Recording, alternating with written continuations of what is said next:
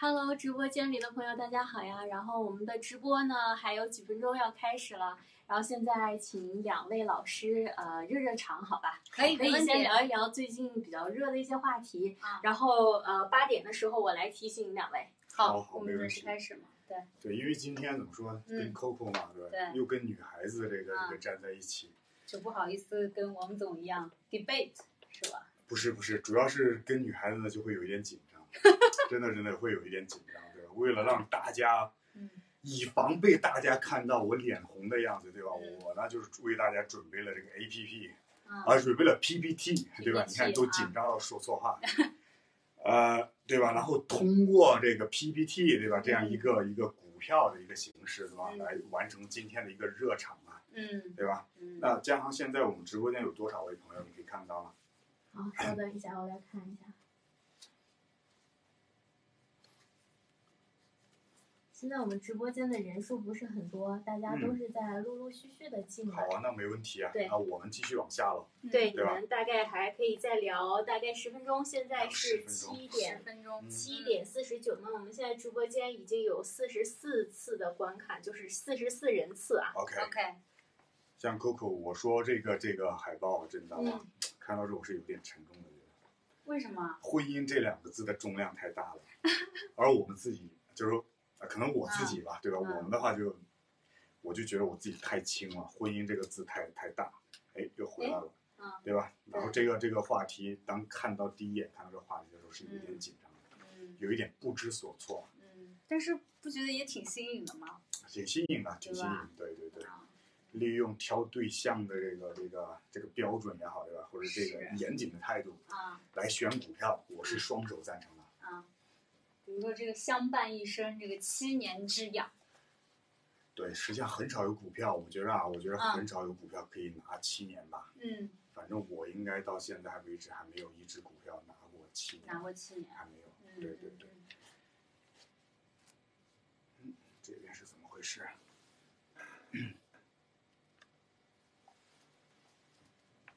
那我们往下看啊，婚姻如雄的嗯，死掉了吗？还真是死掉了。看一下用那个电脑可不可以重新，关掉是吗？先就是这样呢？也不动，这样呢？嗯哎，这样可以这个可以，但是又要靠手了。哎，又可以了。啊。现在现在是哎对，这样刚可以刚刚。卡住了，嗯。对对，然后继续往下，嗯。然后这个图啊，对吧？这个图大家可以看一下，就是为大家，我刚刚有讲说的，我刚刚有讲说，为了不被大家看到 Allen 跟女孩子讲话时脸红的样子，对吧？然后专门的为大家准备了这个 PPT，嗯。让大家去看 PPT 就不需要盯到我的脸了嘛。嗯，那这张图呢，大家可以看到啊，是吧？这只股票也是非常的牛啊，也算是是妖股吧，对，是对吧？妖股，十年二十五倍，那你嗯平均下来一年二点五倍的话，嗯如果这家公司再有分红派息，嗯对吧？那对我就觉得一个非常可观了，对，非常可观了。嗯那这张图实际上大家呢，现在在在直播间的这些朋友啊，大家呢可以，对吧？自己告诉一下自己，或者问一下自己，对吧？像这种情况，哎，像这种情况，对吧？当看见当看见这种情况的时候，大家会选择一个跟进的动作，嗯，对吧？还是说会观望嗯？Coco 呢？Coco 你会怎么样？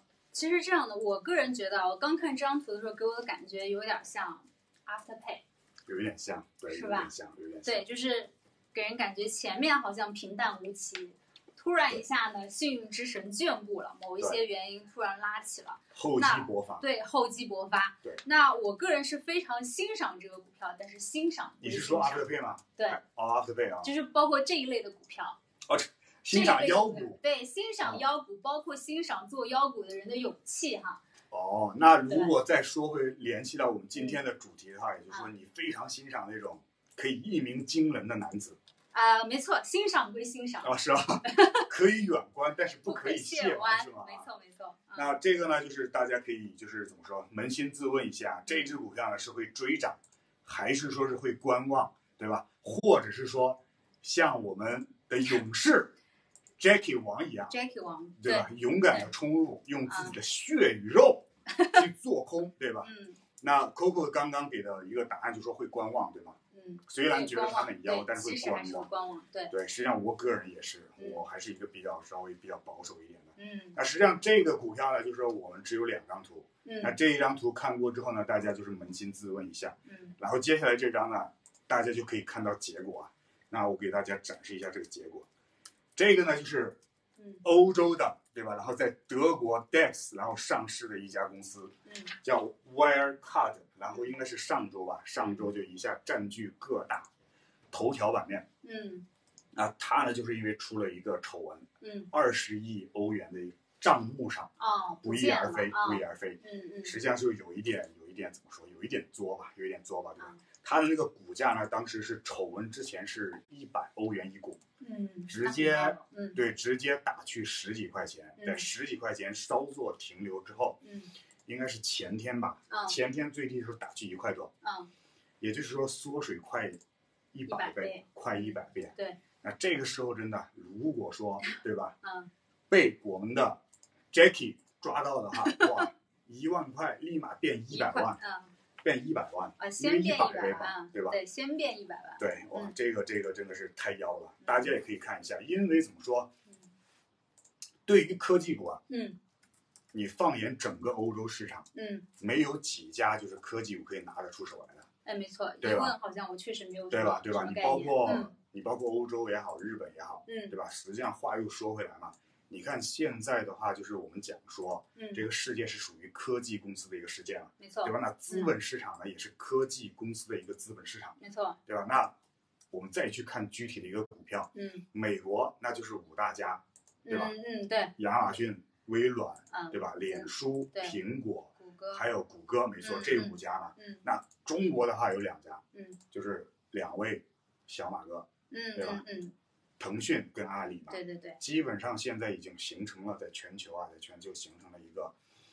五强加两强这样一个隔江而治的一个一个嗯一个情况，一个格局，嗯对吧？那我们继续往下看，哎，这个呢就是对吧？然后要要 Coco 应该认识这两位，对不对？呃，认识这一位，哦，认这位啊，这位这位怎么说？这位可能名声在外，嗯呃，哎，又今天太紧张了，跟美女在一起，这有一点有一点老做错事。这个呢，就是软银的孙正义啊，孙正义啊，对吧？啊，孙正义，对对对，他呢没看他脸对吧？对可没有，我们是俯视，我们是仰视啊。仰视，你可能见过俯视他的样子，那对吧？然后嗯之所以提到这个 Wirecard 对吧？然后又之所以提到这个孙正义老师，嗯，是因为他有投 Wirecard，我要看，嗯。他大概应该是在一百块左右的时候，他的软银嗯。展望资金嘛，叫 Vision Fund，嗯嗯。然后有杀进去嗯。去买这个 Wirecard，嗯，那就怎么说，又栽到一个跟头。有点头。王总的作风啊，他是买入，王总是冲进去做空，对吧？那实际上这个孙总呢，对吧？然后从去年前年开始嗯不是很顺的，啊，从 Uber 开始，然后到 WeWork，然后再到 Wirecard，嗯对吧？然后连续栽三个跟头，嗯，出现了一个翻车吧，连环翻，没错，连环翻的一个情况。那这位对吧？刚刚 Coco 有讲过，嗯这个就是对吧？我们比较熟悉的，一直在做一个对吧？你不学习，你就要被时代抛弃的这样一个焦，虑，对，贩卖焦虑，可以说贩卖焦虑。实际上，罗振宇老师这两位当然怎么说，嗯，非常崇敬了，对吧？非常厉害，是，也都是人中吕布。嗯那这位先生呢，对吧？那也是，因为他好像有每年做一个跨年好像演讲啊，对，没错，对吧？没错，没错，那他呢，就是这个这位老罗振宇老师就更绝了，连续几年对吧？提哪家公司哇，那家公司第二年或者第三年立马翻车。啊，这三位这三家公司，一个是乐视啊，一个是乐视，乐视，嗯一个是暴风影音，一个是锤子手机，嗯都是被他，OK，深深的赞许过的。嗯嗯嗯，结果对吧？三家已经啊灰飞烟灭了嘛，嗯基本上灰飞烟灭了，嗯嗯是吧？今天哎，还有一分钟，还有一分钟，，OK，所以说呢，就是最后一点结论就是，嗯从今天开始，对吧？嗯大家了解了之后，这两位老师再提到任何一家的公司的股票，我们要稍微小心一点，小心一点，我们要稍微小心一点嗯，啊！今天的热点话题很火热，对，是，对吧？今天的热点话题很火热，可能都是股民朋友比较关注的吧股。民朋友对对，对股民朋友，全球市场一盘棋，对是。是吧？今天好像基本上这个全球市场都表现都还不错。对对对，今天有反弹，今天有反弹，对吧？嗯对然后，呃，我们接下来这位主角，对吧？也嗯算是从年初开始嗯一直怎么说，比较冠绝全球吧，嗯，表现很稳定。对，表现很稳定。很稳定，很稳定的稳定在一个位置。嗯对嗯，呃，在蓄力，对吧？在对厚积薄对对发，对对对，没在错做这样的一个蛰伏。没错。那我们现在是等等那个等加航一下，加然后我们之后开始啊。对，OK，这这两位老师真的也是，对吧？可能怎么说，时势造英雄嘛，我想说，没错。对吧？嗯 罗振宇老师也很可爱。我看过他一个访谈，嗯几个访谈了，嗯就是我觉得挺厉害的，嗯确实挺厉害。他的那个思维啊，嗯那个思想是比较超前的，嗯嗯。确实厉害。其实我知道他是因为奇葩说，哦，奇葩说啊，我对对对，是最近就之前先知道他，但是就没有深入的了解过他，对。对然后之后就是奇葩说了解过他对，但是从言谈举止来说，确实是一个很有思想、很很有有想法、思想啊，想想法的人。但我觉得就是就是他在综艺节目里面的表现吧，有点儿过于的商人化，哦对商商人化化商人对商人化化的或者说呆板。呆板，对，那反而在这种综艺啊、娱乐性的节目来说，可能不太讨好。对他可能比较适合做那种什么谈话性、啊，谈话性对吧谈话性启发性的这种，启发性。就给给年轻人什么就是焦虑呀、压力呀，对这种你，要努力，嗯，就像对吧？就像我们每天起来要问自己一遍：哇，今天你有没有比昨天更好？有没有比昨天更博学？对，有没有比昨天 更博学？啊？因为好像最新一期的时候，嗯他好像是为了去救他队伍当中有一个什么叫许许吉如还许吉如，许吉如，对对吧？然后牺牲掉另外一个人，另这样子就外一个人有一点对对我提醒一下两位老师，现在是八点整。好 OK，啊好然后我们可因为有一些朋友啊，他是刚刚进入到我们直播间，嗯对，所以呢，两位做一个正式的自我介绍，然后开始我们今天非常有意思的主题，好吧？可以没问题。没问题。嗯，那我们开始了你先，说，我们嗯开始了。嗯好，手机前跟电脑前的朋友们，大家好啊！今天呢，非常高兴，对吧？大家来到我们 Go Markets 第四期的直播啊。那我呢，还是那个小学生 Allen。我身边这位呢，大家应该也发现了，我身边这位非常了不起啊，非常了不得。他呢，就是 Go Markets 的颜值担当，他是人见人爱、花见花开、车见车爆胎的 Coco。好，非常感谢啊，Allen 的介绍。那这个直播间的朋友们，大家好，我是你们的 Go Markets 一姐分析师 Coco。那今天呢也很开心啊，能够站在这里，为什么呢？因为我成功上位啊，挤掉了王总 Jackie，然后呢能够并肩啊跟我们的这个分析师 Allen 啊站在一起。那我感觉瞬间啊我的职业生涯都上升了一个高度。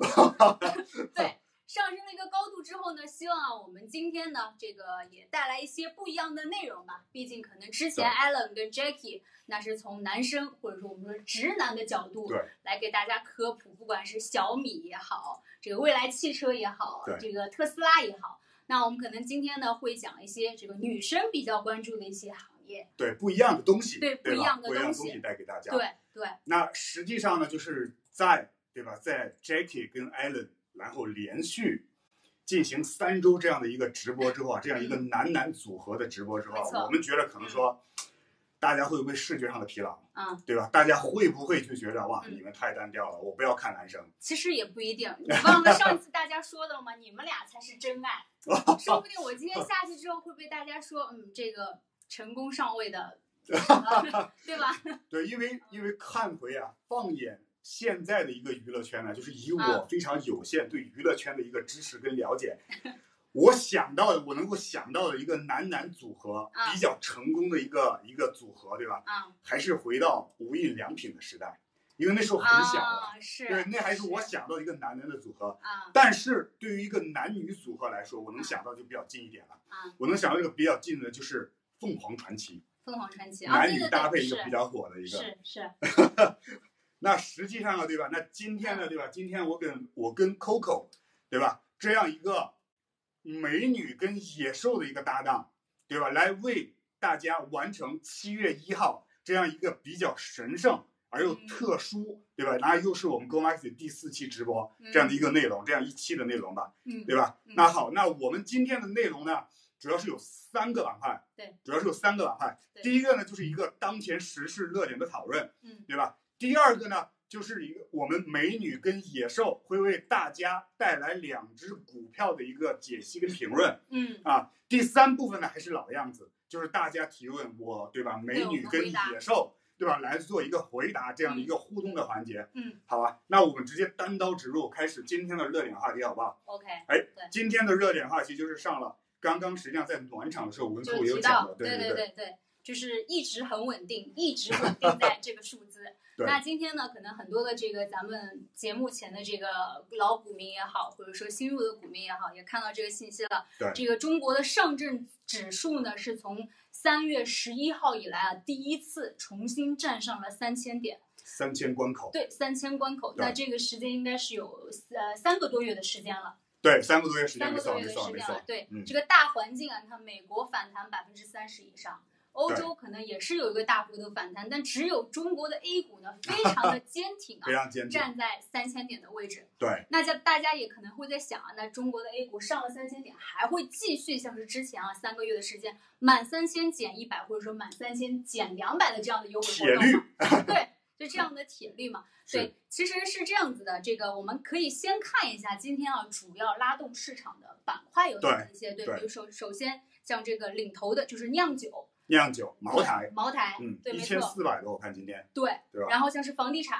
哦，房地产啊房，地产对，然后水泥建材，包括保险和券商，券商今年，银行对今啊天主要拉动的这五个板对块，，就是蓝筹股嘛，没错。对吧？那呃，主要呢，我们看这个最近呢，包括这个其他的板块一些呢，像是承载大资金的银行业啊，最近也是迎来了监管行业的就行业监监管的春天，就因为它被允许能够进入到证券市场。对，一个算是一个改革，啊，对改革。那未来可能像是这些银行会更多的以商业银行加这个投行的形式来给大家做这样的一个呈现。对，所以，但是呢，可能相比于今天，可能上证上呃上涨最后是收盘是百分之一点三八的这样子的一个涨幅，是那反而创业板下跌了。那艾伦哥第一次想到的是什么？啊，实际上我看呢，我嗯看回这个创业板的这个走势嗯啊，我是看回应该是从去年开始，它一个低点是在一千两百点到一千四百点之间嘛，呃对但是到现在呢，应该是已经冲去了两千四百点还是嗯两千两百点，对，那从技术角度上来说啊，我觉得创业板已经迈入了一个牛市，嗯对吧？创业板已经迈入一个牛市。嗯。但是呢，就是说回 A 股啊，对吧？那我可能就是不止一次的表达过这个观点。嗯我觉得可能将来吧，可能嗯三年之后，对吧？或者是两年之后，嗯或者是五年之后了。嗯我觉得就是最好的价值投资嗯会是在 A 股来，A 的。但是现在呢，我还是觉得说是一个政策面的一个驱动，呃有一点儿对吧？我是我是觉得一个对政策面的一个驱动。对，因为实际上怎么说呢？实际上就是呃，老一代的这个领导人呢，对吧？我们嗯国家的这些领导人，他们嗯讲说，把屋子打扫好了之后再请客，再请客，啊，对吧？那从去年开始，实际上对吧？我们已经感受到中国经济的一个往下走的一个情况，是超过嗯对吧？我们预期的，嗯，是超过我们预期的。没错，那当出现这种情况之后呢？当我们的这些顶层设计者们嗯发现了之前对吧，对于经济形势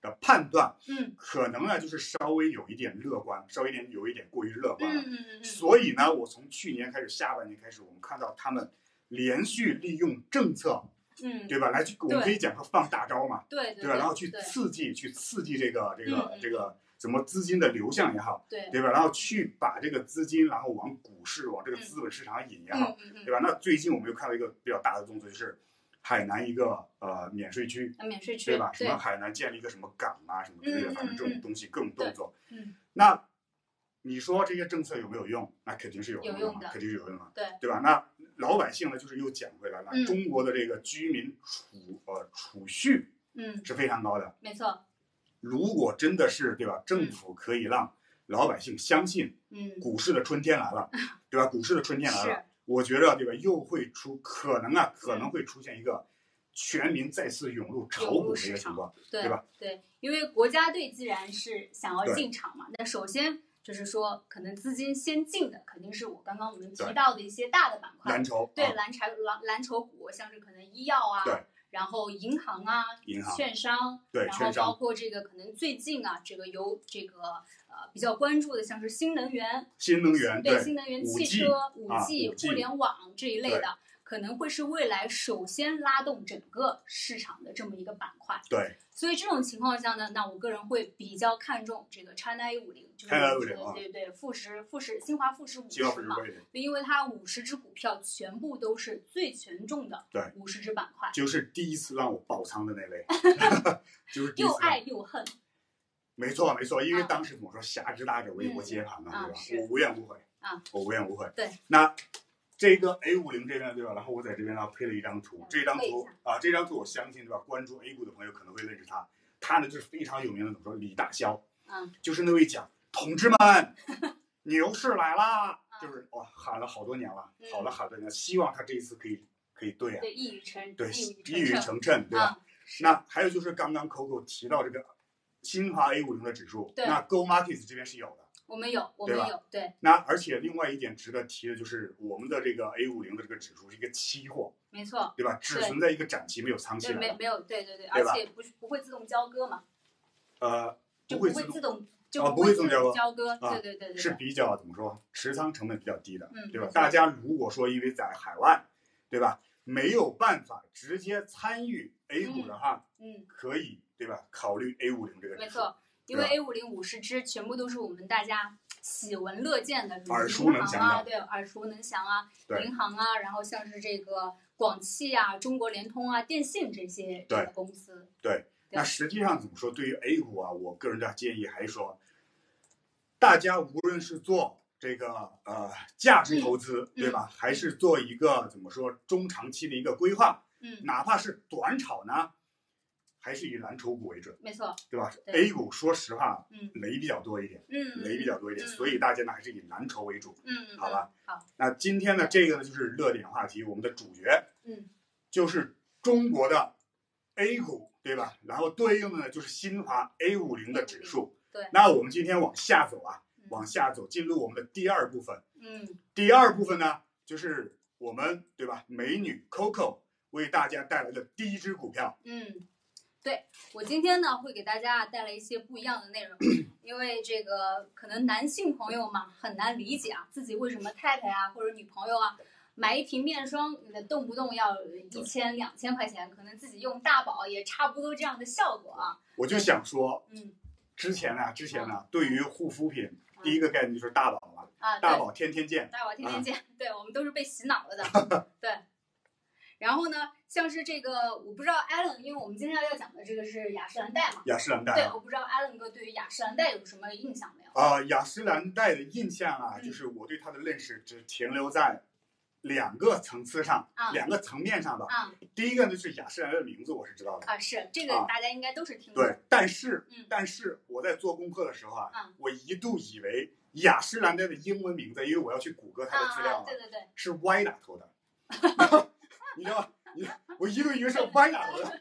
那这个是第一个，第一个，第一个对它的一个认识。嗯那第二个呢，就是我记得我当时刚来澳洲的时候，嗯我第一次回国，嗯，我国内的朋友啊，啊就让我带这这个化妆品回去给他。对对对，那我呢，就是说我什么都不懂的，啊你只要给我照片，那我去店里呢，我就直接给人家看照片就好了这就是第二个印象，嗯嗯其他就没有了没有。但是我知道它挺贵的，啊，我知道它挺贵的。是是，对，因为其实我包括之前问过很多人嘛，大家对于雅诗兰黛的了解是有多少？那大家都会以为就是说雅诗兰黛就只是雅诗兰黛，其实呢，它不仅仅只有这一个品牌。就是我这边呢也跟大家大概做过介绍，可能这个节目前的女性朋友啊，尤其是爱美妆或者爱护肤的，应该这个就是信手拈来，像是倩碧呀、然后倩碧可能是这个我们说的这个学生族或者说上班白领会比较喜欢的倩碧，然后像是这个可能雅诗兰黛它自己，然后这个贵妇品牌像 La Mer，大家应该不少人也都比较知道啊，这个一个呃绿色的这个包装。那除开这个之外，可能是呃小众比较喜欢的祖马龙啊这些的话，可能都是呃很多女生也趋之若鹜的这个美妆品牌和听都没有听过哎，第一次听。哎，但是我知道 MAC，啊，对 MAC，我知道 MAC 对对对，MAC 他们家口红很出名，对，因为嗯，因为之前对吧？因为之前有看过，对对吧？然后那位女生啊，然后去买过口红，所以啊我知道 MAC。啊，是吗？对，对，但是猛的一看，对吧？你要跟我说 Mac，我就以为你在跟我谈电脑，对吧那？也有可能我们是在谈我们的领导啊，是吧？对对对，麦克对吧？啊对，那呃，我现在呢会给那个，因为艾伦哥在前面前面的这个节目当中让大家猜一猜这个股价，那我今天呢让艾伦哥来猜一猜这个面霜它多少钱？你不是之前说你帮朋友买雅诗兰黛吗？那我刚刚也提过，这个牌子是贵妇品牌。贵那妇品牌啊对，，基于你对于护肤品的了解，你觉得这个一百毫升的面霜是呃面霜是卖多少钱？那意思就是它比雅诗兰黛要贵。要贵我猜呀，我啊猜呀，可能四百吧。四百，我猜可能400你觉得还是挺贵的了，哇，四百已经很贵了，好不好？很贵，对，四百已经很贵了。是，那我们来看一下它在好 David Jones 真实的这个售价是多少啊？这边是一个六一百毫升的这个面霜啊，卖是六百六十五澳币。这看起来跟绵羊油没什么区别嘛。对，这绵羊油是我就是两块钱、三块钱一瓶的，对，这绵羊油基本上长得差不多啊，一个小白瓶儿。对，那可能女同胞们啊，其实都是深有体会的。为什么呢？就是有体会的。为什么呢？就是女人的保养秘诀就是脖子以下呢靠自律，脖子以上就是靠钱。对哇，太贵了。呃，是真的挺贵的。所以说，你说女生养养自己容易吗？还是女生的钱好赚，啊，应该对对，是这样子讲这个。倒也是哈，对啊。然后呢，这个因为雅诗兰黛，我为什么刚刚在这个前面的 PPT 里面写到说雅诗兰黛是我们女生的或者说女人的坚强的后盾呢？呃，那呃，或者说为什么它是我们的这个嫁妆呢？因为大家一知道这个一提起来嫁妆，应该也都就是有所感觉，就是对于女生来说，一份有分量的嫁妆。能够让女生在未来的对生活或者说家庭地位当中，就有一定的这个底气。我们男生说实话，说啊实话，嗯，还也是比较看重性格跟内涵。是吗？对啊，对，那你们看重性格内涵，那可能很多人会说，那女生是不是太看重脸了，对吧？在脸上砸那么多钱，那其实呢，我们心里啊也是都是比较清楚的，因为你如果没有一个好看的皮囊，怎么有人会去想要关注你有趣的灵魂呢？对，因为嗯因为在这件事上我好像没什么发言权，对吧？所以我就点头说好。OK，OK，同意 Coco 行行，对，那只要 Allen 哥呢不怼我，那就行了。啊，今天不会，今天不会。Allen 怎么说？嗯虽然是直男呐，对吧嗯？但是面对对吧，沉鱼落雁这样的一位女子，嗯对吧？Allen 还是要表现出怜香惜玉来的。那我这六百六十五块钱还花的挺值的。哦，我以为你是天生丽质，你知道吗？没有没有啊没有，对，所以女生啊，可能经常在买完东西之后啊，可能经常说一句话就是说啊，我要剁手了，或者说我要吃哦土了。对，但是呢，其实雅诗兰黛这只股票呢，我相信是不会让你失望的。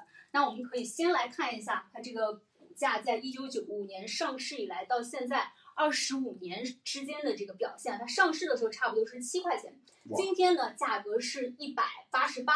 涨幅呢，二二十五年涨幅高达两百分之两千五百八十五，就一几乎一年平均翻一倍嘛。哇，而且还是在纳斯达克，啊，对，是没错，在美国的纳斯达克那，它就是一家美国的公司嘛。美国的公司对。然后它在三月底呢，大家可以看到，在三月底，就是疫情在全球刚开始爆发的时候，当时呢是呃这个去触触探这个当时的这个价格的怎么说呢支撑位，在一百四十五四十美金左右。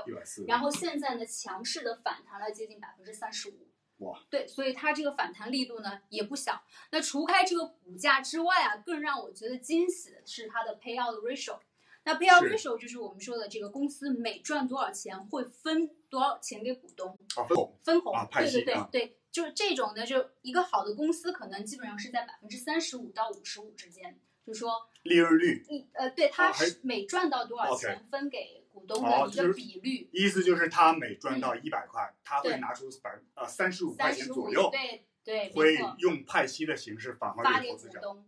对哇，良心企业，良心企业。那雅诗兰黛这个公司呢，在二零一九年啊，它的这个 payout ratio 是百分之五十一点三，哇，也就是说每赚一百块钱，它会分五十一块三给它的股东哦。那这个也是真的是非常良心的一个企业了。对对，那而且它去年的 EPS 就是我们说的每股净收益啊是三点五四，按照刚刚说的 payout ratio 呢，差不多是分红是接近了百分之一左右。那这个对，那这个其实对我来说，我觉得在美国的这个股票行业当中，这个分红比率算是非常的不错了。还是可以的，对还是可以的啊那我觉得啊，既然我都要用，对吧？那这个公司一瓶卖我这个面霜六百六十多块钱，如果 Coco 对吧？如果 Coco 嗯。有这家的公司的股票，嗯，对吧？每次去买的时候嗯。会更加心安理得一点，没错，因为我用的是自家的产品，没错，是我自家的产品，而且你想，我每让他赚我一百块钱，他还会返还我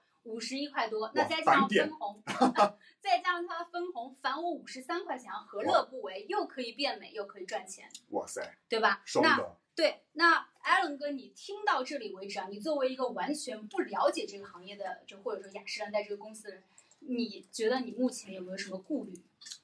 我的顾虑啊、嗯啊，我的顾虑实际上就是刚刚 Coco 对吧？刚刚嗯 Coco 你讲说它这个分红派息对吧？对那我可以感受得到，嗯这家公司呢是一家非常大方的公司，对对它的股东是非常大方的一家公司。嗯那但是呢，我这边的顾虑啊，就是我是怎么一贯的嗯挑股票，我喜欢用减法嘛，是，对吧？对充分发挥被黑的最惨的那个星座的特点，对吧？来挑这家公司的怎么说一个顾虑吧。那呃，第一个呢，第一个就是说，雅诗兰黛的产品是走的一个怎么说中高端吧，没错，对吧？嗯。那它的产品这个价格是比较高的，嗯啊所以呢，就是我第一个顾虑就是说，因为它价格比较高，嗯。所以呢，它锁定的那个人群呢、嗯。是比较小块的、比较小众的一块人群，对吧？这是这是我第一个。嗯。那第二个呢，就是说，那可能就是跟当下的这个环境有关了，因为当下嗯。我们知道从年初开始，对吧，是一个全球疫情大爆发的一个一个动荡的一个岁月了。没错，那在这样的一个环境之下，嗯首先大家是可能隔离在家，对吧？或者是大家在家里上班，远程上班，嗯对吧？对那再有一个呢，就是大家会戴口罩。嗯那你像这种时候呢，我不知道别人怎么样啊。那嗯我艾伦有时候在家的话，我可能就是拖鞋，对吧？拖鞋、短裤，嗯或者随便一件 T 恤，嗯对吧？那有时候呢，就是脸这边呢可能会就是比较比较疏忽，本来就很疏忽的，可能呢，对吧？可能如果再加上我，可能就更疏忽了。嗯我的意思就是说，嗯是不是这个环境会对它的一个产品消耗，嗯对吧？形成一定的嗯怎么说减少了，明白就是啊在刚需方面有一定减少了。明白，那第三个呢，就是我最爱提的，我最爱提的一个，就是现在对于纳斯达克，我刚刚之前看的时候是大概在一个一万零一百的这样一个点位，嗯对吧？那对对于这样一个大盘这么高的一个位置呢，嗯雅诗兰黛，我就假设啊，如果它是一家好公司，确实是一家好公司的话，嗯那但看回大盘来说，嗯是不是有点现在入场是不是稍微有点晚了？还是说嗯我再等等呢？嗯，这是我三点顾虑啊。行，三点顾虑，那我们一点一点来回答。好，首先第一个点呢是这个对于它的产品细分啊，对那我肯定也是觉得比较正常的，因为 Allen 毕竟还是不怎么了解它这个公司。对啊，我现在怎么说？我现在对于这个护肤品呢、嗯就是停留在嗯我现在都不是很清楚这个爽肤水跟润肤霜 到底怎么用，它们的功效分别是什么，嗯我都是还徘徊在这个阶段所以说，对吧？我就觉得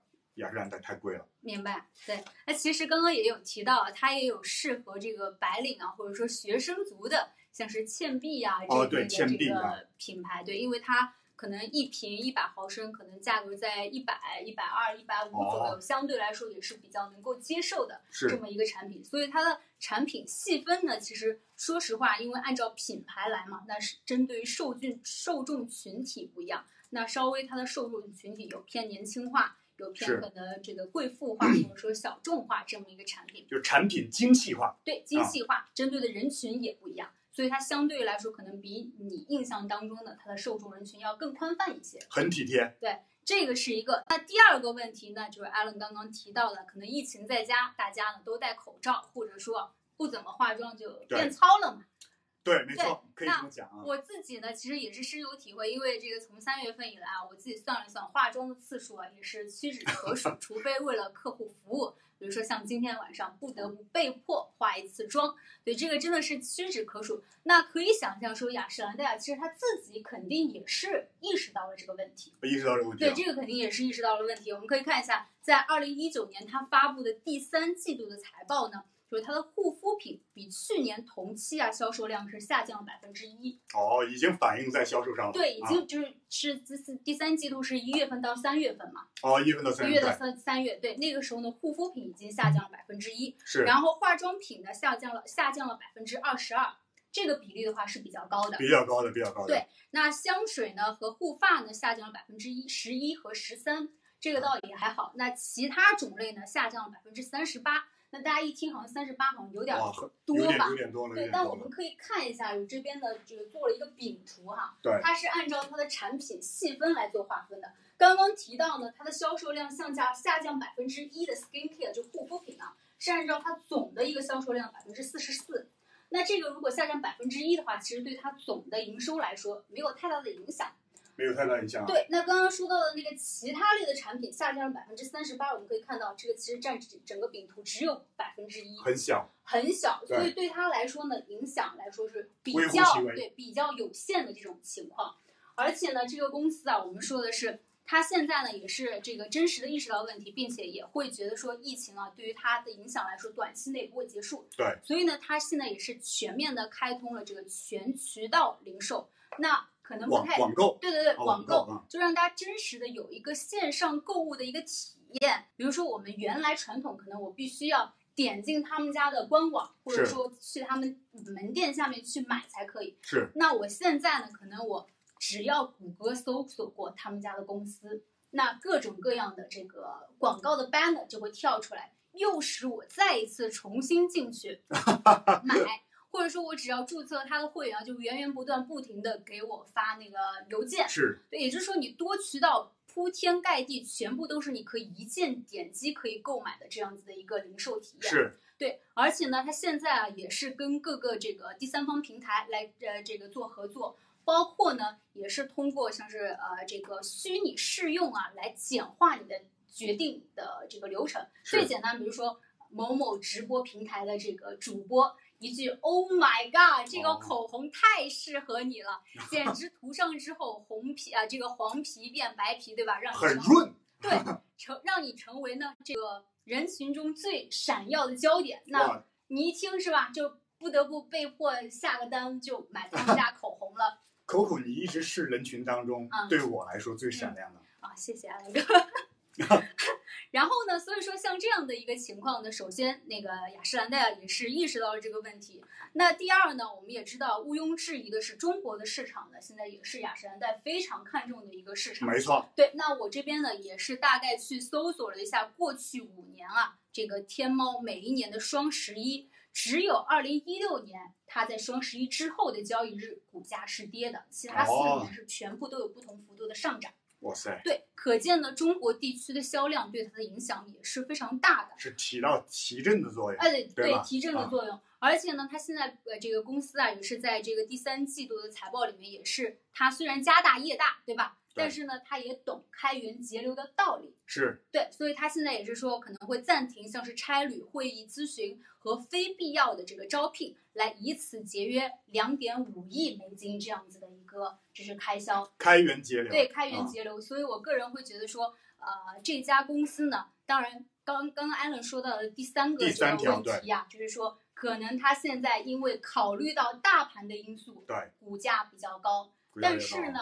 就是说，它还是一个值得长远去投资或者说长远去看的一个股票。明白，当然，一百八十八呢，我个人会觉得我也不会选择在这个这个价格入场。OK，那我会进一步去等到它无限贴近于一百五，或者说之前的支撑位一百四十块钱左右是，我再会去选择入场。OK，对，啊、对吧？然后嗯听完，听完美女 Coco 对吧？然后嗯这个这个怎么说发人深省的嗯这个解说对吧？跟我解疑之后啊，对吧？这个解疑之后呢，啊我呢，说实话，我是有一点怎么，有一点动容的，嗯，有一点动容的。嗯但是呢，对吧？作为一个非常老派的，对吧？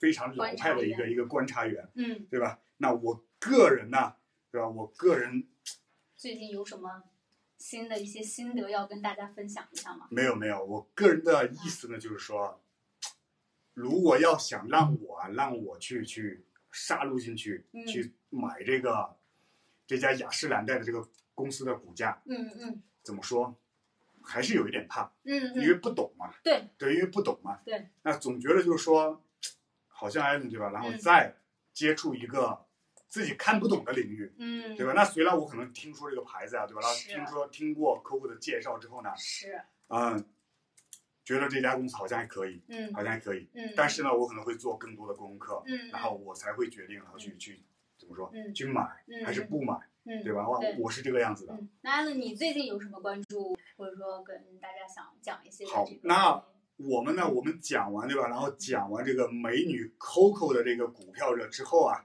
哎，我们还有一块没有讲漏掉的，是不是？我们回来补吧。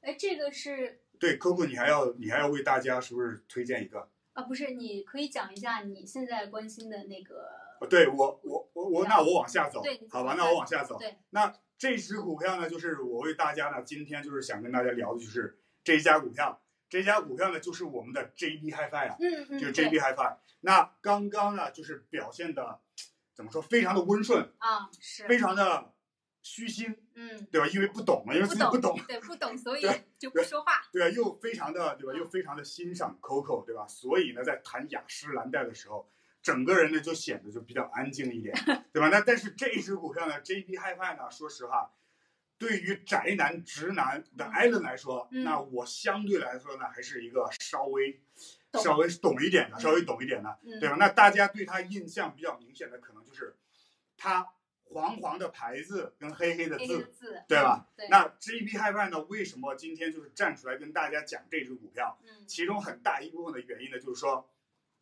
全球的股市，对吧？然后出现了第一季度出现了非常大的一个动荡。没错，那在第三季度的时候呢，呃，全球股市出现了一个探底的一个一个情况，嗯对吧？因为三月二十几号开始，大概出现了一个大幅度反弹了。反弹了，对吧那澳洲两百，我们看到的一个情况就是它的一个大盘一个反弹幅度，嗯，大概到六千点的话，是出现了一个百分之三十左右的反弹，没错，对吧？没错，但是嗯 JB HiFi 基本上呢，基本上出现了一个微型反转了，嗯，对吧？是大家可以看到啊，大家可以看到，基本上可以看到出现了一个微型的反转，嗯，哎，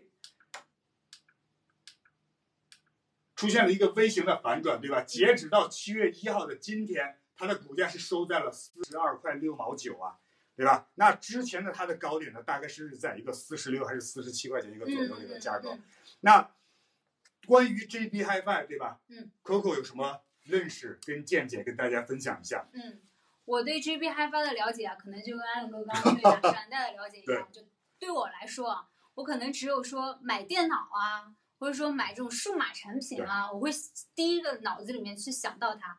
那包括前几年，它不是也有一个同业的竞争者 DixSpace 倒闭了，然后被这个当红的啊对 Live 的炸子机 Kogan 给收购了嘛？对，那这个的话，可能就只是我停留在对它非常基础的一个这样这样的一个印象对，对哇，实际上真的是对啊？我对护肤产品啊。是这样的一个理解，啊你对 JB HiFi 也宅男的最爱是这对，也就个理解是。这个理解，对吧？啊那实际上 JB HiFi 呢，我是怎么说？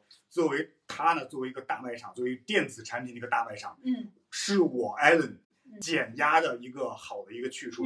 我有时候时不时进去兜一下，哦是吗？就是兜一下，对吧？看看，有时候嗯不买不买，嗯然后看一看啊有什么新的电脑啊，保安有有什么认识你吗？呃保安每次都打招呼，每次打招呼，嗯然后呢是一个减压的一个方式嗯，对吧？那关于 GB HiFi 啊，对吧？嗯那我个人呢还是觉得说是持一个怎么比较积极的一个态度的。嗯嗯，我觉得呢，JB HiFi 值得大家可以说，如果要完成一个资产配置的话，股票配置的话，嗯嗯，我觉得 JB HiFi 值得大家怎么说？起码会放去 watch list 的吧，大家可以关注它。嗯嗯那关于 JB HiFi 呢，对吧？然后这个我我上面也有讲，对吧？它是 Allen 的一个游乐园，在这里之后我感到非常的一个放松，嗯对吧？非常的放松，非常的高兴。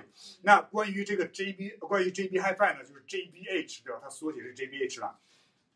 我跟大家介绍一下，就是从 Allen 的角度看，它的优点跟缺点是什么？那它的优点呢，就是它是业界，它是业界当中，呃，它的一个经营成本最低的，嗯，它是经营成本最低的对吧？那它呢是跟 Good Guys 是一家公司来的，啊 OK，对吧？那它的对手，那我们看回去的话，那它就可能是呃 OfficeWorks，嗯，对吧？可能是 Harvey Norman 这样子，对吧？对。那这个呢，是它一个怎么说业业界最低经营成本，是它的一个护城河来的，嗯嗯，对吧？因为今天还跟一个朋友讨论到嗯护城河，对吧？这个概念怎么去理解？对对对对，吧？那实际上呢，这个是因为我的成本最低，嗯对吧？所以呢，我这个护城河呢，就是比方说同样的一个东西，我就假设对价格它可以是最低的，对对吧？价格可以是最低的，这是它一个护城河。对那第二个呢，就是截止到二零一九年的十二月三十一号啊，嗯它的一个呃公司的一个业务增长幅度嗯是达到了百分之七点七，嗯，是达到了一个百分之七点七。嗯哇，我觉得这个是怎么说很不错的这个是很不错的。对对吧？那第三个呢？第三个呢？因为我有这边对吧？我有用黑色的一个怎么说，专门的加注，专门的加注注明对吧嗯？那是机构拥有的一个资产。那我们看回它最大的前五大股东，啊，看股东，对前五大股东嗯，第一大呢就是非常有名的 Australia Super，嗯嗯，那也就是机构嘛，我们，很多人的这个对养老金对对养老金公司所在地，对吧？那这家公司看好它，并且拥有它，嗯那我觉得是对这家公司的一个认可嘛。嗯，对吧？那这是一个。再就是它第五大的股东是三菱银行，啊是我们公司的邻居，邻居对吧？我们公司的邻居它是三菱银行，对吧？我觉得那怎么说？我们如果想上车，想上 JBH 这辆车，对吧？我们需要看一下嗯这辆车上有谁对吧？嗯？就像开头的时候，刚刚那两位老师如果在车上，嗯我们就可能要稍微等一等，对吧？稍微等一等嗯。但是呢，我们看过之后还是 Australia Super，对对吧？是那个三菱银行，对吧？我觉得是会增加 Allen 的信心的。如果我在观望的话，嗯嗯所以呢，这个可以给大家参考。嗯，再一个呢，就是第四个，第四个它的一个优势，因为我刚刚跟客户有讲到，对吧？接下来的世界，对吧？接下来的资本市场没错，会是一个科技公司的一个市场，嗯，对吧？或者嗯是科技公司的一个世界。嗯那五 G 对吧？五 G 还有一个云端服务，对吧？我觉得在接下来怎么说，会是科技公司的一个蓝海，啊会是是，他们的一个业务增长的一个所在地，对对吧？那因为涉及到这些电子产品跟电子设备，嗯所以说呢，JB Hi-Fi 的这个业务，它的一个基本盘，嗯我觉得是比较稳的，嗯，就是说还可以怎么说，存在一个刚需，嗯存在一个升级换代，大家手机升级啊换代，是是，大家电脑升级换代，存在这样一个刚需支持的，对那这个是第四个优点。，OK，那它当然有缺点，啊对吧？它肯定当然有缺缺点，就像我们挑男女朋友，对吧？或者挑啊伴侣一样，对对吧？我们看完优点之后呢，我们来讲他的不足。嗯它的不足呢，就是首先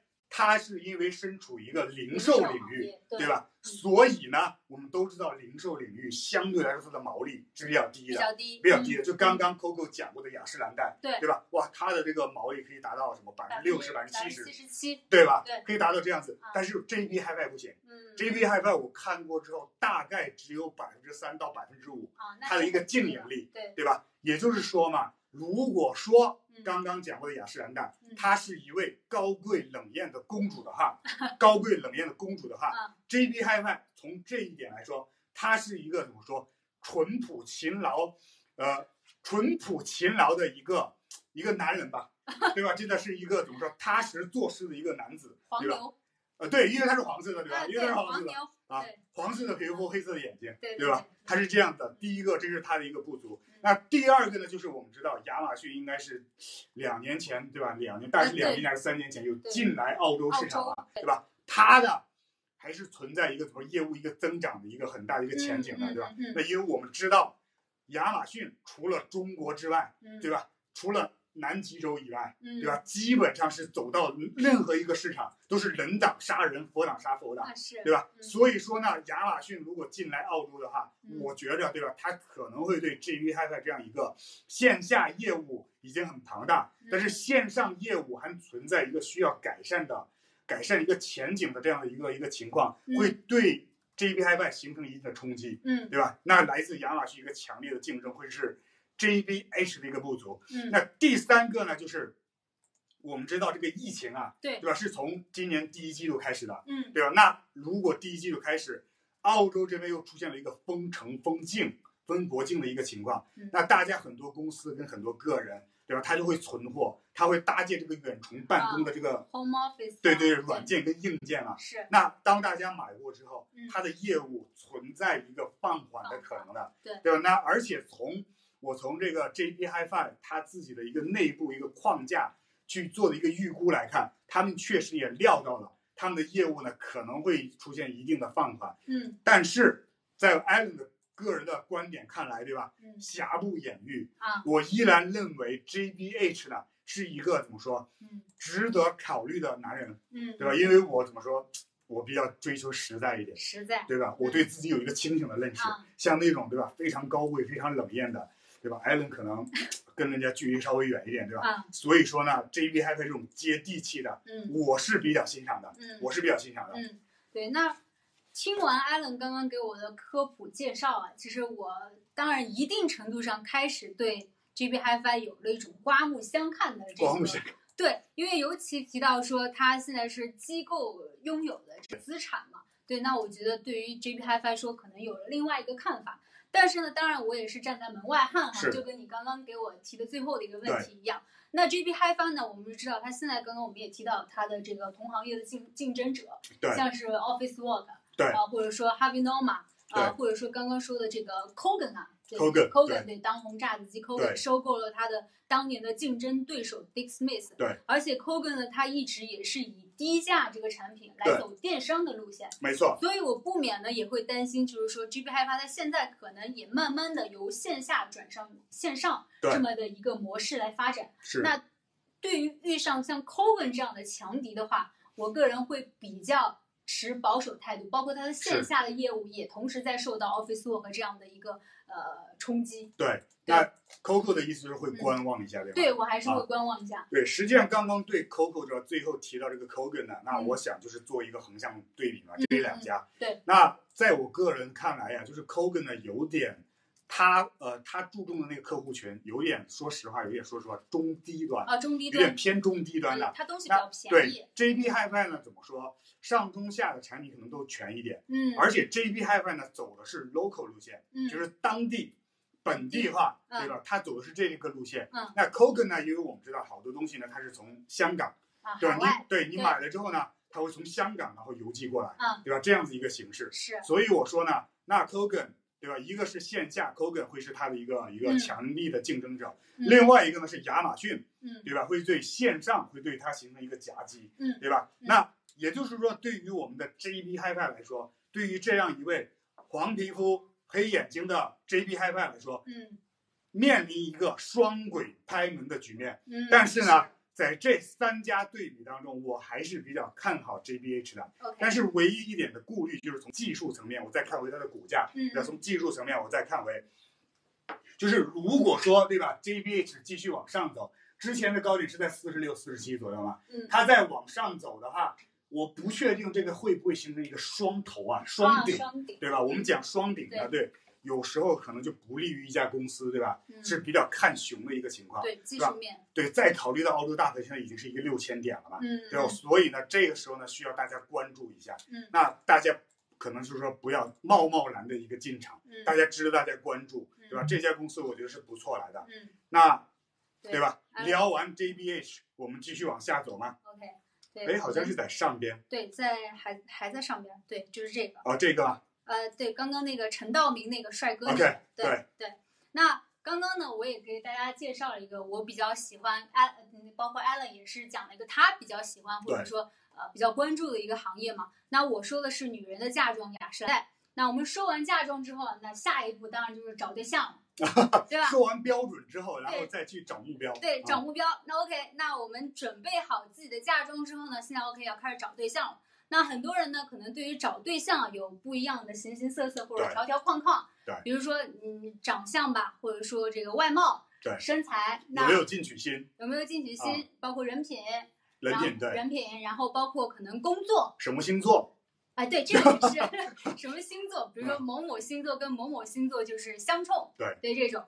然后呢，还有包括像是这个呃工作啊，然后刚刚提到可能受教育背景啊，对，然后可能家庭背景啊这一对些，大家的一个成长环境。啊、对成长环境，对，所以其实呢，这个找对象啊，就跟我们说炒股是一样的，因为我们还是要配合一下我们今天的主对没错题嘛，没错对吧？就是呃，这个炒股呢，我们其实都是一样，你可以同时看好好几只好几只股票，对，但是呢，你真正要买哪一只股票，可能还是得要做深入的研究。做一个决策，对，比如啊说像是它的财务数据，对，然后这个包括它过去的业绩情况，对，然后公司的管理层，然后包括这个股东，对我们都要做完详尽的介绍或者说这个研究之后啊，对我们再会去决定说，OK，我今天要去买哪一只股票，对，对吧这是说实话，那说到这里，对吧？这是我们的一个价值，嗯，对吧？那很多朋友会讲说，我懂股票，啊我懂交易，对吧？啊我可能我可能不需要 Coco，对吧？不需要 Allen 嗯你们的任何信息。我觉得可能有时候，对吧？那听一听 Coco 怎么讲，听一听 Allen 怎么讲，对吧？嗯或者听一听 Go Market 怎么讲，嗯，我觉得可能呢会对大家有一定的帮助来的没，错，对吧？没错，对，那 Coco 面对这两位，你的抉择是？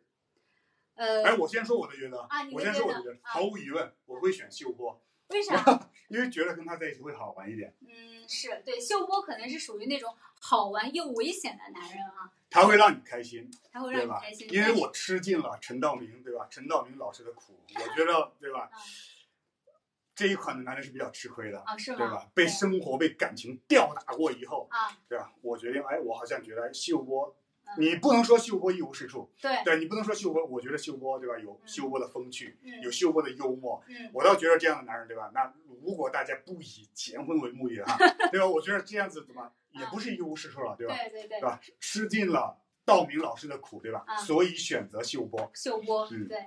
那很多人会说说，OK，这这两个我可能什么都不选，或者这两个我都要，因为成年人嘛，不做选择，两个我都要哇。对，还是你会选，还是你会选。是对，就刚刚其实也提到嘛，就可能炒股就跟我们找对象是一样。那可能很多人会说，那个这个股民呢，就像是渣男一样，见一个爱一个。对，其实呢，我感觉你是在影射我，我没有啊，没有什么的影射啊。因为上一期刚刚反思了，对吧？我对 A 二始乱终弃的一个过程，感觉自己躺枪。没有，其实 Alan 是作为这个最典型的股民的代表，就是非常专一，专一到什么程度呢？就是说他只爱给他赚钱的那一只股票。专一到对方心已经变了，可是我还自己不知道。你是在影射什么内容吗？我没有，我一下想到了自己伤心的往事，对吧？我只有将自己的脑袋仰视成四十五度角，才可以不让我的眼泪流下来啊！好了好了，那我就不提 Alan 的这个伤心事了，这个我们这个下来聊。下来聊，下来聊。下来聊。对，如果说这个，因为大家可能现在也都比较关注嘛，澳洲的科技股，或者说澳洲科技股全球的科技股，刚刚对 Alan 也提过嘛，这个五加二这样的模式。那其实澳洲的科技股在从去年开始也有不凡的表现，尤其是最近的这个 Afterpay 这只妖股，这只妖股，妖股对，然后做空的 Jackie 哥还好吗？做空的 Jackie 哥不知道有没有在台下哭泣啊？嗯对，如果说 Afterpay 呢，它是属于这个，就我们说科技股啊，它是属于我们可能呃梦寐以求的对啊男神女神的话，那他肯定就是我们追不上的那一个高富帅。对，感觉思聪啊，对吧？就有点像思聪啊。思聪同学的频率，并不是每个女孩子都可以都能追得上 get 到的啊。对，尤其是今年疫情之后，这个金主爸爸腾讯呢对入股了百分之五，那他现在真的是就是一骑绝尘，扬长而去，从八块钱啊直接现在是冲到了六十六十二块钱，今天收盘。对，没错，没错。对，所以是，但是呢，作为我啊，我个人来讲哈、即使是这样，我也不后悔。没错，对，为什么呢？对，因为其实 Afterpay 它其实就像是谈恋爱当中啊，就追求追求你的其中的一个追求者。哦，我以为我追他，呃，没有，是可能是站在女生的角度嘛。我哦现在换了一个思维，对我站在女生的角度来说，可能 Afterpay 就是其中的一个追求者。是那他现在呢，可能所处的行业，或者说他可能是在这个公司里面还是个实习生。哦，还是一个实习生。实习生，因为他 Afterpay 没有开始赚钱嘛，他现在还是亏损的一个状态嘛。对对，但他可能是实习生，但是呢，他就敢放下豪言壮志啊，带我去 To Rock，指着一栋豪宅说：“这个将会是我给你买的豪宅，哦，我以为他会说啊这将会是我们的家，我以为 这将是我给你打下的江山。哇，你看，我终于明白了嘛，对啊吧？艾伦输在哪里？不会讲话嘛，对吧？不会讲话，”你其实很会讲话，对，所以像这个的话，我会想说，哎，拜托啊，大哥，你现在所处的行业是吧？这个面对的虎视眈眈的竞争者那么多啊、像 OpenPay 啊，或者说呃 Zip 啊，或者说 Cizo 啊这些，呃，这个都是在虎视眈眈这一块行业的这个蛋糕。对。那除此之外呢，只要有一个大佬进入，比如说像是 Visa，或者说 MasterPay，或者说哪怕到澳洲的 C 就是 CBA 四大银行，他想要进入这个市场的话，其实也是轻而易举的，也是可以的。就是你刚刚说的没有护城河嘛。护城河比较浅，对吧？对啊，那我就说大大哥，拜托你行行好，你许下这个承诺的时候，你先看看你自己现在都是已经自身难保了，啊那你还敢给我开这个空头支票吗？也就是 Coco 选择不信对，我不信啊。对。那可是就是你刚刚有提到嘛，对吧？啊腾讯爸爸入股嘛，啊，也就是说，这位虽然是实习生，但有一个啊他有一个非常好的爸爸，他有爸，他有一个爸爸，有一个非常好的 daddy。对，所以我说他嘛，他可能是富二代当中那个最高调的。对对，那又说回哇，每次你提到这个，我就想到我们的思聪同学。思聪同学这个脑袋上都已经打上了富二代中中最高调的嘛。对。那我如果是作为我的话，我可能就是不太会于，就是刚刚说的不太偏向于 Afterpay，但是我可能会选择同行业同样是澳洲 Wax 就是五只这个 W A A A S 的另外一只股票，就这边的。根正苗红、低调有内涵的这么一个科技公司，这是个呃呃代码是 A L U，ALU 对对，那为什么说它是根正苗红呢？它是一家非常老牌的一个科技公司，是在一九八五年就已经成立了。那它是专注于设计呃这个印刷电路板，也就是 PCB 的这么一个软件。那说白了，它其实是一个软件公司，软件公司的利润率会高，啊。非常高。而且它的这个 PCB 电路板的应用呢也是非常广，像是上到这个飞机，然后汽车，然后下到手机啊、家电啊、各类零部件啊，都是需要使用这个软件来设计这个电路板的。是对，那只要是电子产品的话，都是需要这么一个软件，而且它的公司的业务范围也非常广，像是北美、南美，美啊然后欧洲、亚洲这边都是有这个覆盖到的。然后它在上海也是设立了专门的这办公室，我记得是在就是有进军中国市场对场，中国市场，包括一八一九年在深圳，因为深圳我们知道现在电子科技中国的硅谷硅谷，啊对它现在也是设立了办公室，是而且它的主要商业收入呢是持续性的这么一个软件性软件服务收费，那这个就是源源不断的一个现金对，流对。会持续性比较强一点。对，啊而且它可能这个需要的这个实际的资产会比较呃这个少一点。OK，对，没错，它的运营成本对对运营成本，对。那首先我们说考核完这这家公司，它的业务能力没有问题吧？嗯就我们说选对象，OK，它的能力没有问题。对 OK，那我们来看一下这家公司，而且现在最主要关键是它现在是一家正在赚钱的公司。哦，已经实现了盈利。对，实现了盈利，而且最关键，它而而且还会给这个股东分红，虽然不高啊，在啊 ASX 的两百里面，就百分之一的话，可能是不太高的这么一个水平。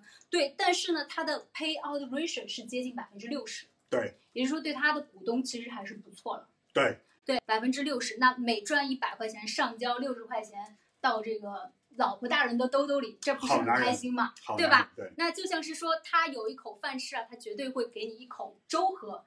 那会觉得他的承诺会相比刚刚 Afterpay 来说，给股民的承诺要实在一些对，而且这一位确实是很低调，啊。因为我没有听过，因为我今天晚上第一次听。对，你想 Allen 都没有听过，可见他的这个根正根正苗红、低调有内涵啊。而且之后呢，我们也都知道，二零刚刚我们也提到嘛，可能之后的两年、三年时间，像是五 G、物联网、对人工智能这些，就越来越这个需求越来越普及对普及、啊对。那我们很多的产品上到就刚刚提到的汽车，下到家电、手机，都需要产品更新换对代。那这个的话存，在刚需，对刚啊需，那所有产品的设计师就会更加需要像这样子的一个软件。哇，这今天晚上没有白来，没有白来，因为涨姿势啊，对吧？第一个呢，就是让我认识到雅诗兰黛有雅多贵，嗯，然后然后第二个呢，就是这位根正根正苗红、低调有内涵的，嗯，有多低调跟多有内涵，是我会把它放入我的 watch list，然后学习一下。啊。那我今天晚上这个也是讲的值了。讲的值了，讲的值了。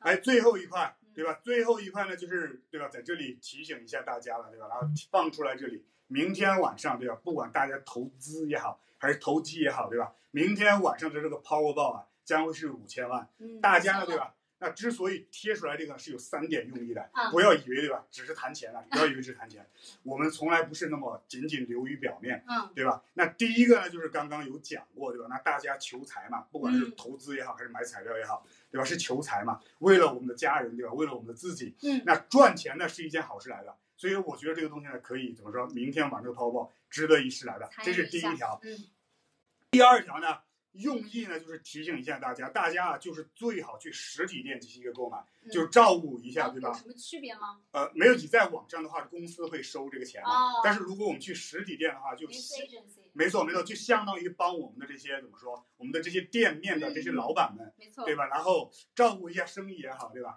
我们讲就是呃，我们自己可以求财，对吧？嗯顺便呢嗯，我们又可以帮别人，嗯何乐而不为呢？对不对没？错那，所以说找对象啊，就是应该找这种艾伦哥这种，就是我们不是有一句话叫什么来着？始于颜值，忠于呃限于人限于人品，忠呃不是忠于人品啊，不对，忠于 好了，我好了，我我不讲了，你讲。哦，这个我是一个好人，我想对说我是一个好人，是但是这个对吧？还，算了，这第三条，第三条，第三条就是最深刻的，最深刻的，然后跟我想，对吧？因为最近陆陆续续跟客户有接触嘛，跟不同的朋友有接触，是，那第三条是比较深刻的，就是借着对吧这个场合跟大家表达出来。那为什么推荐彩票呢？虽然彩票我们命中率的呃命中中大奖的概率很低，一但是我想说的是，我们尝试的错误成本也很低，嗯对吧？我们就花五块钱，嗯对吧？或者就花十块钱，嗯不中就算了嘛，嗯，对吧？那我们试错成本很低。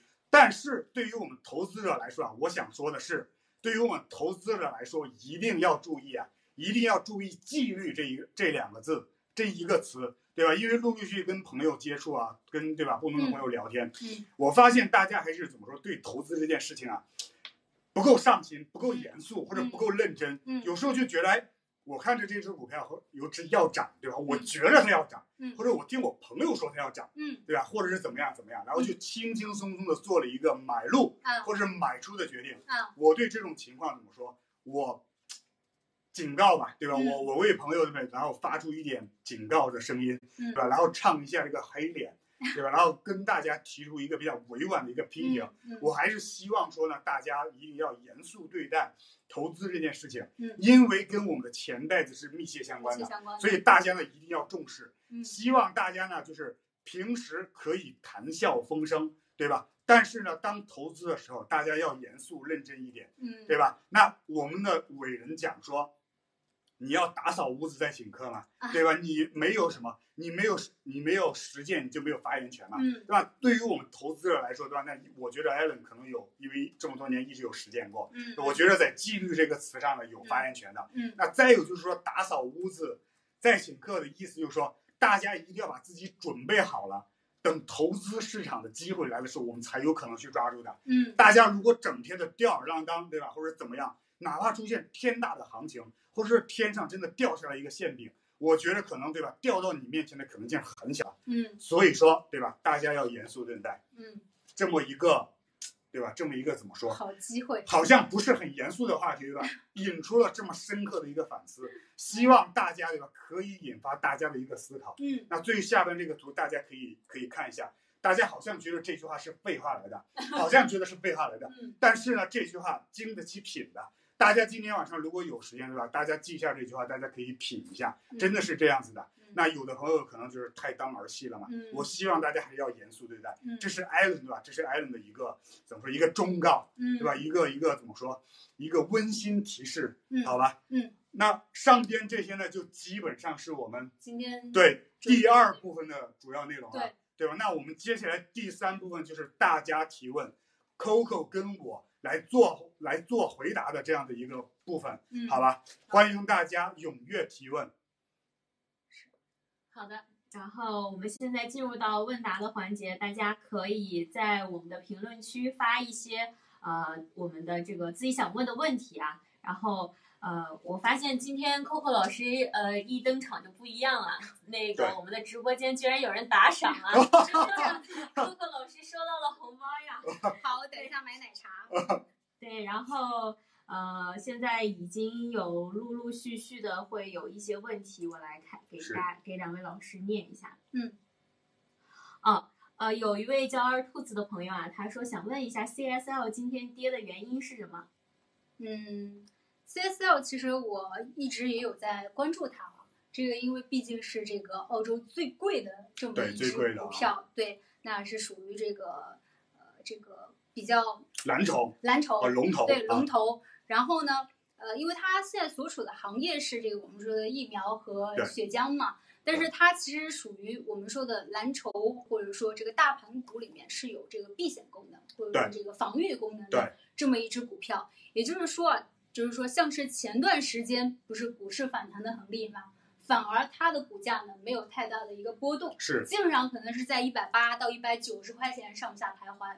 那最近呢，这个像三月底下跌的时候，它反而没有有一个太大的一个跌的幅度。是，所以我自己对于它的理解，或者在说，比如说像是今天如果大盘有一个非常好上涨、非常好的上涨的一个表现的话，那很多可能机构的资金或者说散户的资金会从这个防御性的板块里面出来，去追逐热点或者说追逐热门的一些板块。那很多情况下也会导致说，哎，反而今天大盘的表现不错，可能 CSL 会下跌这么一个情况。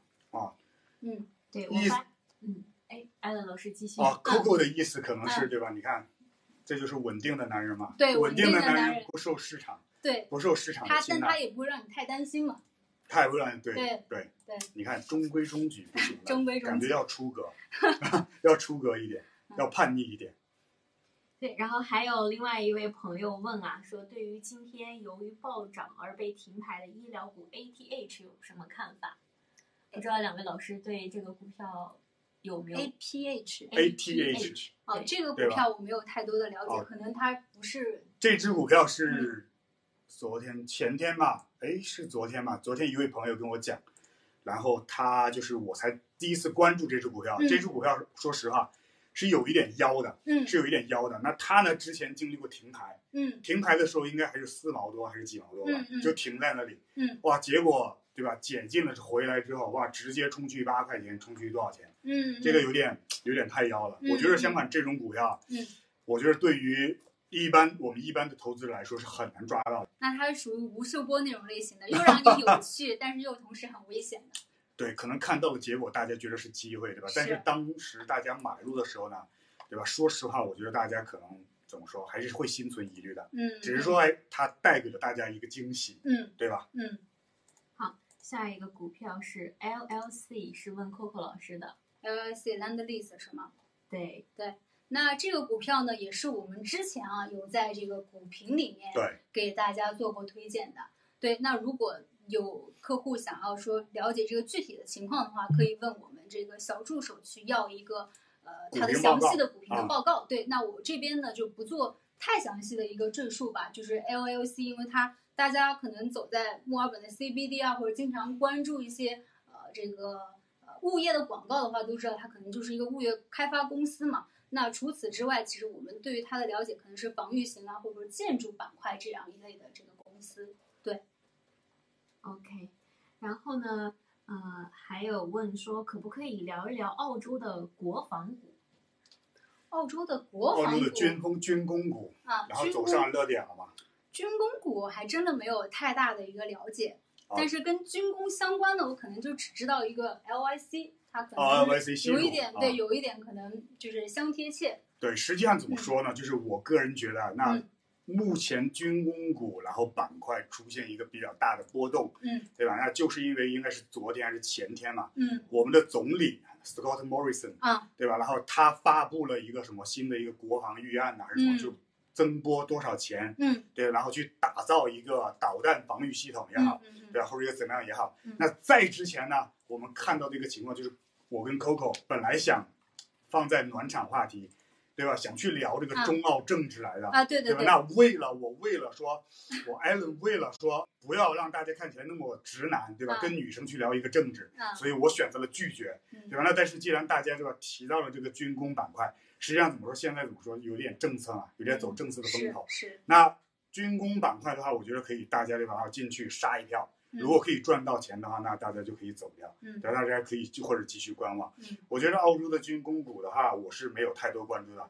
我一直在关注中国的军工股，嗯嗯我一直在关注中国的军工股。嗯嗯然后呃，可不可以让 Coco 老师再多聊一下 ALU 这边目标价位是多少？哎，这个朋友问的很直接啊，什么时候买？买多少钱？多少钱可以买？然后我们可能没有办法给、太过对对对对对，因为我们今天还没有讲到说风险提示嘛。那我们今天所有的这个个股的评论也好，或者说谈及的价位啊，或者说我们的观点也好，都是属于一般性的建议，不会构成个人的投资建议。对对，因为我们是不考虑到你的任何的这个风险啊，或者说收入背景的情况下来做的这样子的一个一般性的建议。对，刚刚这位朋友对吧？然后问的这么详细啊，嗯如果有意对吧，可以联系我们的小助手嗯或者是我们的 Coco 来进行一个详细的解答。嗯，对，Coco 老师可以私下里再给对他介绍更多的关于这些公司的一些信息，好吧？可以。嗯，然后这位朋友添加一下我们小助手微信啊，然后跟 Coco 老 Coco 老师私下联系一下。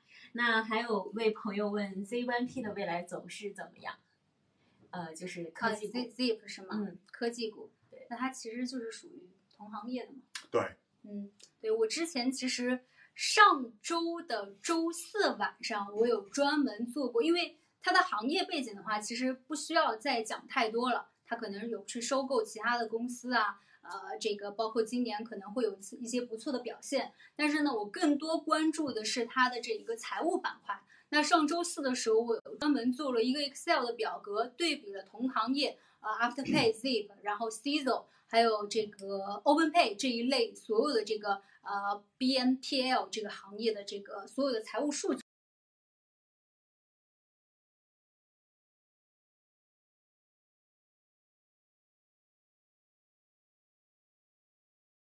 输入，比如说这个股价的变动，或者说一些财务信息的一个更改，就会得出一个新的 EV to Sales Ratio。这个可能是啊、呃对财务可能是参考比较重要的一个公司的一个财务信息的一个指标。对，实际上就是 Zip，然后刚刚 Coco 的对吧？然后为大家讲这些嗯，Zip 现在在做的一些事情，实际上就是 APT 之，前做之前做的一些事情，就是在各种布局嘛，对对吧？然后再选择怎么说，呃，找这个战略合作伙伴，嗯对吧？然后再做一些布局的一些动作。嗯那实际上 Zip 它上涨的这个概念呢，就我们之前应该有讲过，它就是因为 APT 涨太快了，对对吧？那一部分原因应该，大家一看 APT 已经涨过这么多了了，，对，追不上了，已经追不上了。那大家就要不要考虑一下 Zip 了？对对吧？放眼一看，对吧？那么一个高富帅也好，或者白富美也好，既然我追不到了，对吧？那我可能会去考虑，哎，这样一位，对吧？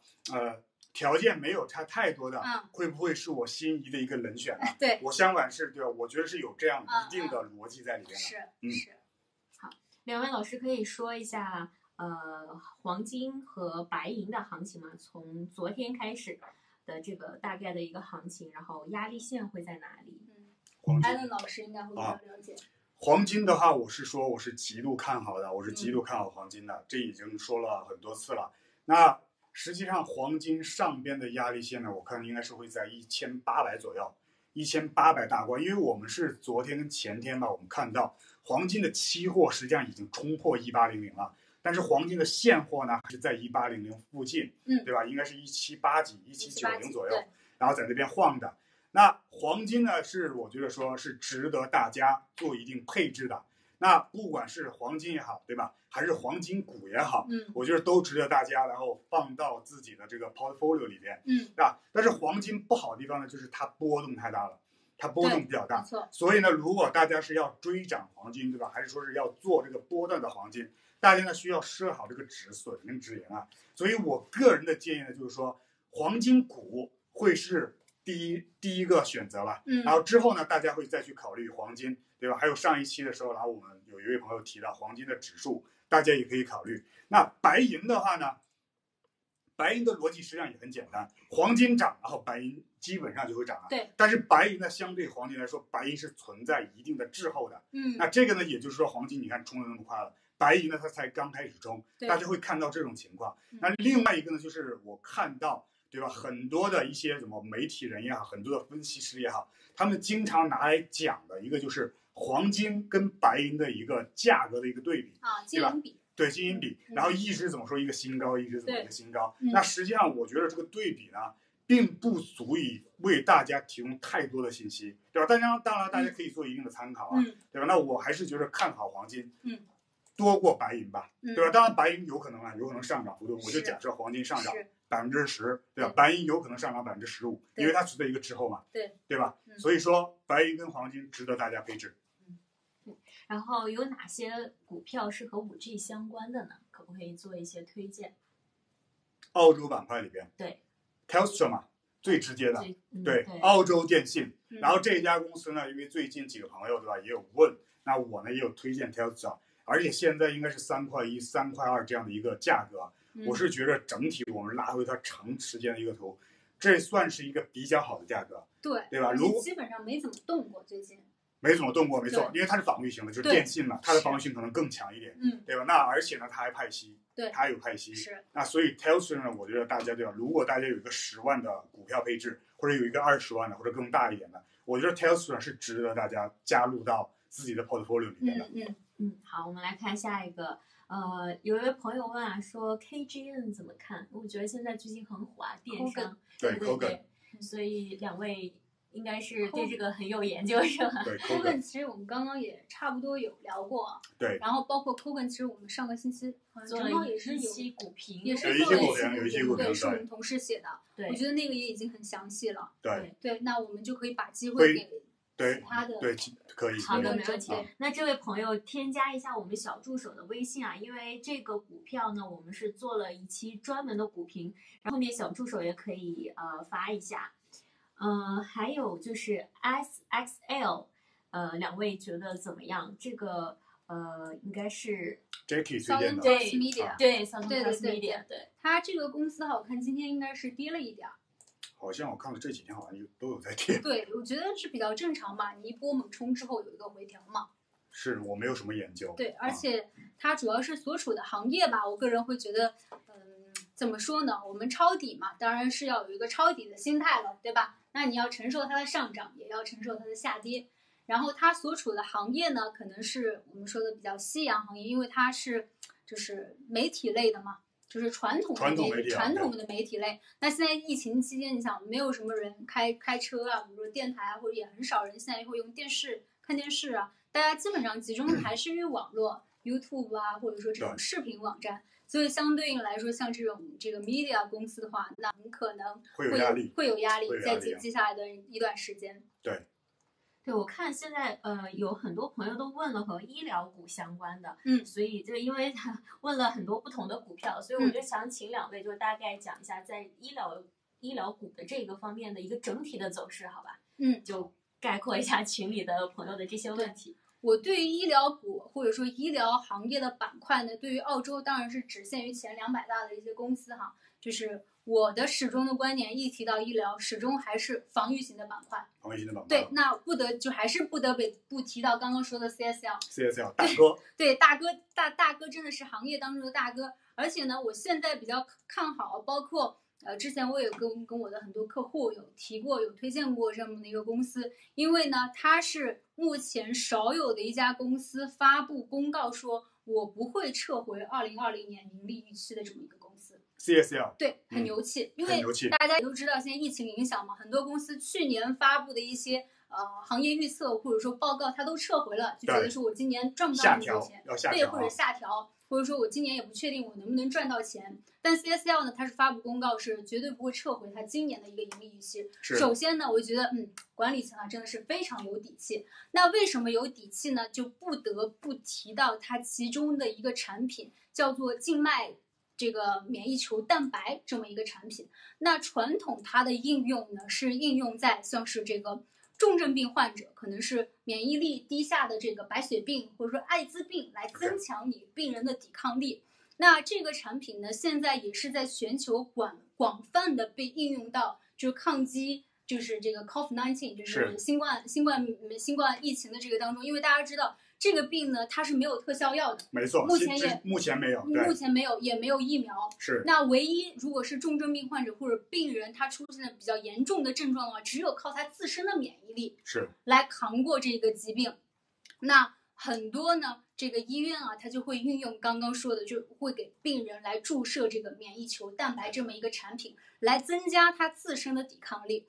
那根据它去年呢发布的一个财报，也就是说那个时候一九年嘛，是呃还没有疫情爆发的时候，它光光这一个产品，它的销售量全年就增长百分之二十六。哇塞，对，所以我今年的话会更期待它这个产品的表现。是而且 CSI 我们也知道它是一个这个血液血液血浆公司嘛。那刚刚也提到没有特效药，没有疫苗，那很多有一些行业呢都开始运用，就是康复之后的患者，他的血液里面会血产、对血清，它会抗体啊会产生抗体。那 CSL 刚刚提到，它是一个血液血浆的这个公司，它在全球有三三四十家这个血液采集站。对，那血液采集站在美国的话，比如说你去献血是可以得到适当回报的，这个是合法的。对，那很多比如说呃原来得过疾病，那康复了之后他会去献血，那 CSL 它就会有非常好的先天优势，可以拿到这样的一个康复之后病人的这个血清，来给重症病患者做这样的治疗。而且他现在呢跟日本的武田制药也是在这个行业里面非常领先的，对啊合作来做这个专门 COVID-19 的这个合作开发。所以我会觉得未来 CSL 呃，当然短期呢确实会承压在差不多在一百八到一百九之间的这样，对，一两百两百八哦，CSL CSL 是一百八，两对对对对两百八两百百八，sorry 说错了。两两百八这样子的一个价格的这个，对我我价格继承了那个雅诗兰黛了，都是大哥，满脑子都是对哦，你把大哥继承了大姐，对，都是大哥大姐，对他可能短期还会承压在两百八到两百九之间，但是呢，如果他的财报啊会出来比较好，或者说比他预期的还要好的话，那我相信它的股价会是下一个台阶。是，就是嗯 Coco 总结起来，Coco 的意思的话就是基本盘没问题，对，基本对吧面是没有？问题然后。产品存在一个刚需，对对吧？所以说我们是比较看好 CSL 的。没错，对好，这样时间不多了，然后我们快问快答，最后我再问三个问题，好吧？好黄金股有哪几个？黄金股，来给给我大们介绍一下。家大家大家记一下记一下。，RRL、SBM、NST、NCM。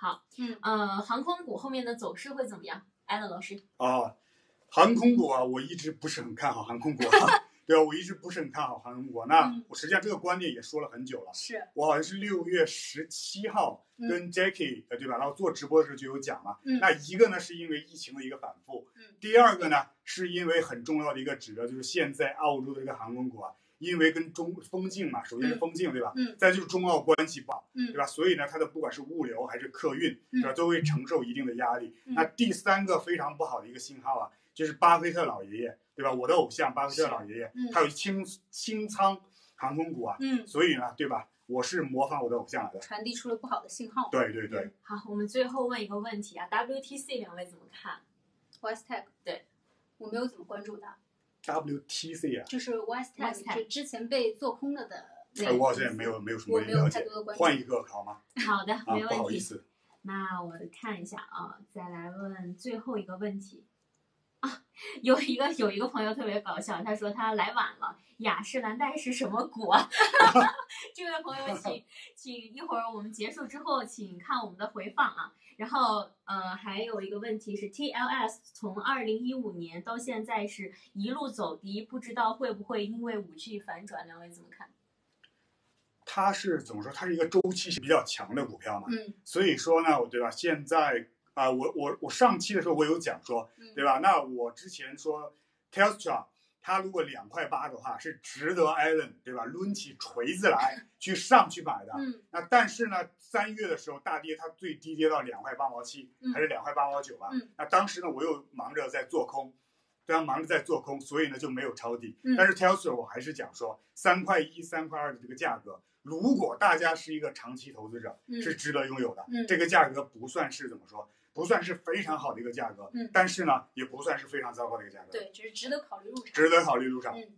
我看我们那个朋友很热情啊，现在还有陆陆续续的一些问题，但我们的时间已经到九对。点十五了，啊。又再一次给大家延长了十五分钟。好，那我们今天就先到这里。对，好啊。那节目的最后，节目的最后啊。升华一下，主题。升华一下主题啊，对。哇，我顿时不知道该如何应对啊。，OK，Coco 来，我是想说，因为今天正好是二零二零年七月一号嘛，那澳洲来说是新的一个财年嘛，对，所以大家可能会对于下半年啊，尤其是浪费了半年的时间宅在家，对吧？可能对于下半年呢，会有一个不一样的计划或者安排吧。那我在这里呢，也是祝所有的这个屏幕前哈，手机屏幕、电电脑屏幕前呢，也是希望大家在投资道路上，或者说爱情道路上，或者说学习道路上，就是谨记这样子的一个，我觉得也是一个比较有价值的一个条，就是怎么说呢？铁这个铁律铁律，啊对，就是不能爱的人就分手，不能赚钱的股票就割肉，不会做的题就跳过。，OK，对，因为我们今天的主题是婚姻如炒股嘛，那我们还是要升华一下主题。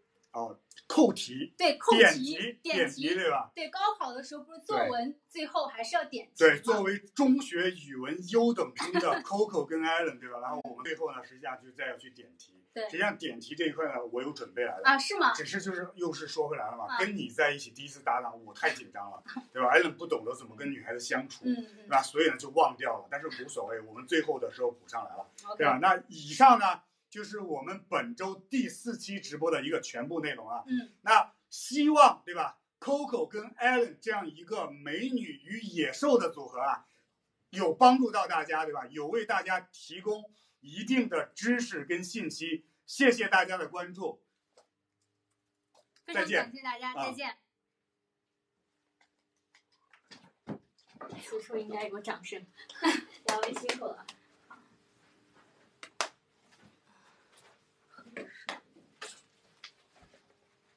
哇，今天灯有挺亮啊，两个人的脸还都挺亮哈、哦，是吗？对我我来赶紧看一下。